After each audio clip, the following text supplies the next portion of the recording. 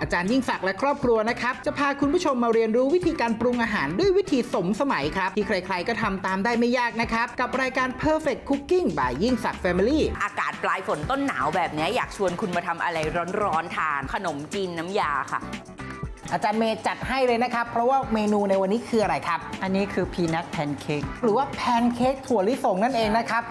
พบกันวันนี้เวลา9นาฬิกา40 นาทีทางช่อง 8 กดเลข 27 นะครับ